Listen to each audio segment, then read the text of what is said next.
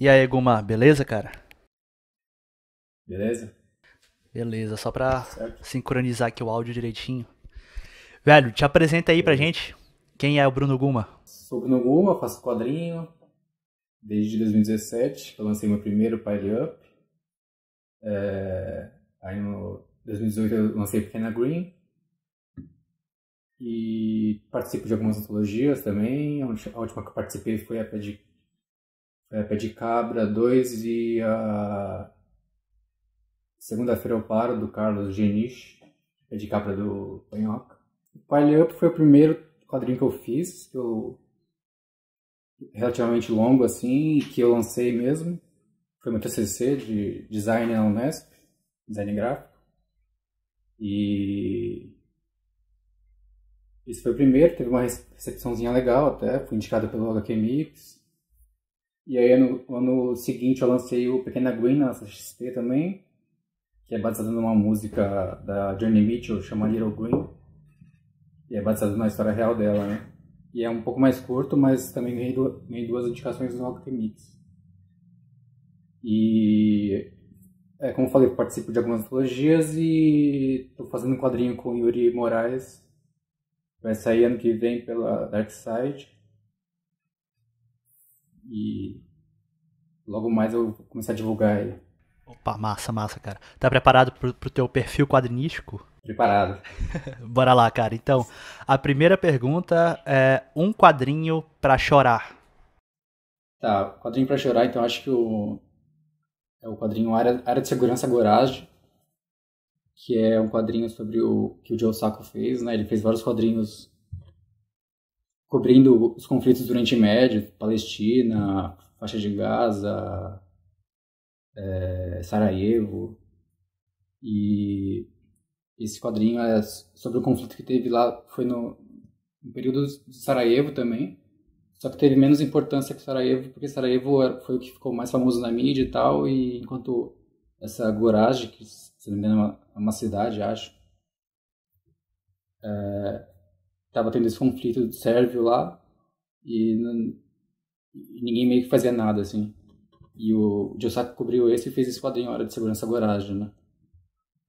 E ele conta essa, esse absurdo da guerra tal, do, da des- desumanização da guerra, da- das coisas que, que as pessoas têm que passar, tipo, por os absurdos mesmo que as pessoas, as pessoas têm que passar. E não sei se é um quadrinho pra chorar, mas talvez um quadrinho pra chorar de, de raiva, assim, de desesperança. Bora lá, cara. S- é, a próxima pergunta é um quadrinho para rir. Quadrinho pra rir, o Fante Bukowski do não é Van Cypher ou Van Skyfer, não sei se. Nunca sei de jeito de falar o nome, o nome dele. Mas é um quadrinho que não saiu aqui ainda, que na verdade teria, que- alguém teria que lançar logo, porque é muito engraçado. Ele tem. Ele. O Noah é um cara que está ganhando bastante popularidade nos Estados Unidos, né, como quadrinista. E ele lançou muita coisa nos últimos X 4 ou 5 anos, ele lançou muita, muito material. E aí, o quadrinho é sobre um, um personagem que quer ser escritor, só que ele é muito patético e não faz nada certo. E eu achei muito engraçado quando eu li assim. Tem um humor bem, bem peculiar do Noah, que é meio bobo, mas é, mas é, é bobo, mas é inteligente. É, é bem, bem, bem característico dele, assim. Eu acho que seria legal se trouxesse no Brasil logo. Próxima pergunta, cara. é, se tu pudesse escolher, se tu tivesse que escolher só um quadrinho nacional, qual seria? Bulldogma do Wagner William. Acho que quando, quando, quando ele lançou em 2016, né? Foi a época que eu tava começando a fazer quadrinho, assim, começando a aparecer em evento e tentar dar, dar cara a tapa, assim. E nessa época eu, eu comprei esse quadrinho, foi o primeiro dele que ele lançou, né? Pela Veneta. Cara, na, na primeira lida eu não, eu não entendi muito bem a vibe dele. Mas depois eu reli e eu entendi melhor, assim. E na época, até hoje, assim, eu curto bastante. Acho que é o, trabalho que eu mais curto dele, que tem essa, esse lance de. Esse lance urbano, de meio paranoia do personagem. É, da, personagem não saber o que é realidade ou não. E eu acho massa também que ele intercala com ilustrações de, de posters de filmes, tem bastante referência. Ele sempre usa bastante referência, né? O, o Wagner Williams nos trabalhos dele de, de filmes e músicas, ele sempre sempre deixa isso bem claro assim nos quadrinhos, acho bem massa. Um quadrinho que todo mundo gosta, menos você. Ah, essa é boa também. Pô, acho que vou ser polêmico, mas eu, eu confesso que eu não consigo gostar muito do, do Scott McCloud, dos livros dele. Mais especificamente do desenhando quadrinhos, eu acho meio chato, assim. Ele é meio. Eu acho que. Eu reconheço a importância e tal, mas. Eu acho ele meio bobo, assim, sabe? É...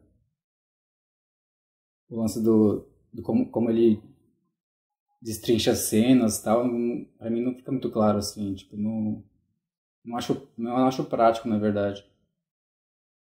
E é meio pedante, assim, eu acho, não é uma leitura meio fácil. Tem coisas legais e tal, eu acho que é bom para quem tá começando, mas, sinceramente, eu acho, não gosto muito. Assim. Acho que nesses livros de fazer quadrinhos e tal, acho que prefiro mais os do Will Eisner, ele acho que é mais claro e mais...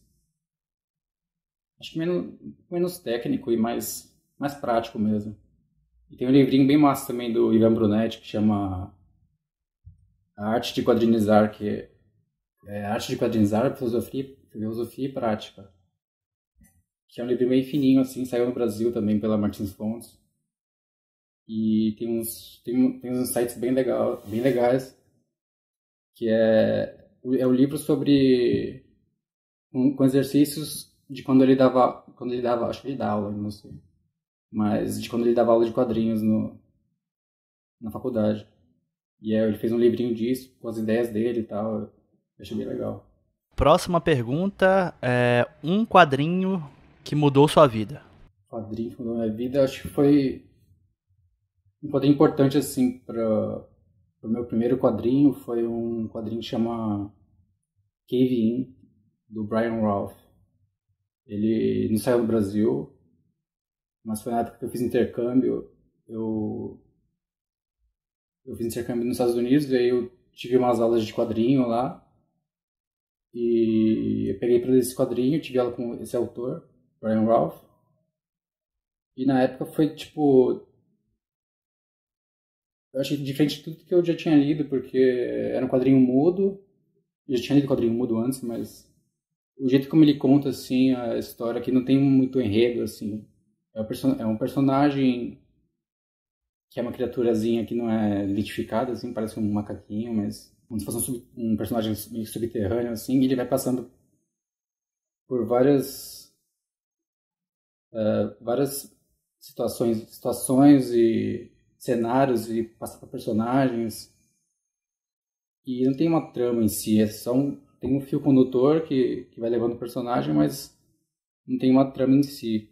E isso me influenciou para fazer meu primeiro quadrinho, que também é um quadrinho mudo e tal. E como na época eu não tinha muita experiência com escrever mesmo, com texto, queria fazer algo mudo, então esse quadrinho meio que deu uma. Foi uma referência forte, assim. Chama Cave Um quadrinista ou uma quadrinista que você considera o grande ou a grande? Oh, essa, essa é boa também. Ah, cara, eu acho que Daniel Klaus. Sério? Nem, nem, do... nem adivinhava que tu ia falar Daniel Klaus. Porra. Acho que o Wagner também respondeu. O Wagner William também respondeu essa, né? Mas. Ah, cara, eu acho que. Eu não sei porquê, mas tem alguma coisa no, no trabalho dele que, que me identifica me identifico muito, assim. Eu não acho que ele seja. É difícil falar o maior, né? Tipo, é muito relativo isso para cada um, mas nem acho que ele seja o maior mesmo, mas para mim tem algo no trabalho dele que ressoa muito em mim, acho que é acho que a ironia dele é muito forte assim, a ironia, os personagens esquisitos, o ódio que ele tem assim, que passa passa no texto dele pelo o ódio pelo mundo assim, sabe, pela pela sociedade e é, ele é super crítico assim. Outra coisa que eu gosto nele também é o texto, o cuidado que ele tem pelo texto, dá pra perceber isso nas histórias dele assim não sei se é um dos maiores do mundo, mas acho que como como quadrinista e escritor assim, acho que ele é um dos maiores escritores dos, dos quadrinhos, assim, eu acho. E tem alguma coisa dele no desenho dele que é, que é meio onírico, meio. Eu não sei, acho meio hipnotizante assim o traço dele. É meio gostoso de olhar, assim, sabe? O desenho dele, eu acho. E isso é uma, uma coisa que eu tento, assim, também, fazer algo que seja. Não só uma história boa, mas seja bom, gostoso de olhar, sabe? No desenho. Eu acho dele, o, o, o traço dele muito muito hipnotizante, assim, eu acho. Próxima pergunta: um quadrinho para quem não lê quadrinhos. Para quem nunca lê, não sei se para quem costuma ler quadrinho, mas eu curto bastante aquele é, da Uli Lust, O Último Dia do Resto da Sua Vida. É sim o título, né? O último, o último Dia do Resto da Sua Vida. Que é um quadrinho autobiográfico da juventude meio maluca dela, que ela trata de, um, de umas coisas bem sutis, assim, é, de, de abuso mesmo, de, de estupro, né? Só que é, dá, pra, dá pra perceber que no texto, no, no quadrinho, ela, na época, ela não, meio que não fez um grande caso disso, né? Tipo, parece que não, ela, ela, ela era tão, ela era tão porra louca na juventude que, tipo, meio que ela normalizou isso na, na mente dela, né? Tanto é que o título meio que reflete isso, né? Tipo, como isso é, mudou ela, né? Tipo, a juventude dela e... Não sei se é um bom quadrinho para quem não costuma ler quadrinho, mas acho que dá uma dimensão diferente, assim, do que... Pode ser quadrinho, né? Geralmente as pessoas pensam sempre super-herói, Turma da Mônica e essas coisas mais mercado, mainstream e tal, mas Quadrinhos pode falar de tudo, assim, né? Bora lá, cara. Para encerrar o teu perfil quadrinístico, é, uma indicação de quadrinho livre. Qualquer quadrinho que tu queira indicar. Qualquer quadrinho. Ah, cara, eu acho que Jimmy Corrigan foi um dos quadrinhos que eu poderia responder que explodiram na minha cabeça também. E que, eu, que eu li recentemente também. Eu nunca li muita coisa do Chris Ware. Mas só, só por esse quadrinho eu diria que ele é, é um dos maiores quadrinhos que eu já li, assim. Pelo, como, como o Chris Ware trata as gerações né, dos personagens, é, como ele vai fundo na, na, na, história de cada personagem, na, de como, como uma coisa vai influenciando a outra, tipo, como o que um tataravô dele fez influenciou no, no personagem principal, que é o Jimmy Corrigan. Então, tipo, acho que Jimmy Corrigan nem é o, o principal para mim, eu acho. Tipo, eu acho que o que eu mais curti do quadrinho foi o. Não lembro se é o o avô ou bisavô dele, acho que é o avô, que ele vai contando toda, toda a infância dele na em Chicago, né? Desde o incêndio, o grande incêndio que teve, até a, a reconstrução da cidade, aí a feira, e o jeito que ele reconstrói isso no quadrinho eu acho muito fantástico, assim. E imersivo, eu acho. Então, o pessoal pode me achar. Atualmente estou só com o Instagram, que é bruno.guma. O Facebook eu não tenho mais, porque cansei do Facebook também. Acho que uma rede está suficiente só. Aí, então, no Instagram, os quadrinhos você pode achar no, na Ugra e na Loja Monstro. Eu acho que na Ugra já esgotou, esgotou todos que eu, que eu tenho. Tem as antologias que eu participei, segunda-feira eu paro, e de Quebra 2. E a Pequena Agulhinha acho que tem na Loja Monstro ainda, que eles são com loja online. E em breve eu vou ter mais coisas aí, tá? ano que vem. Logo aí. Valeu, Guma. Valeu. Até mais.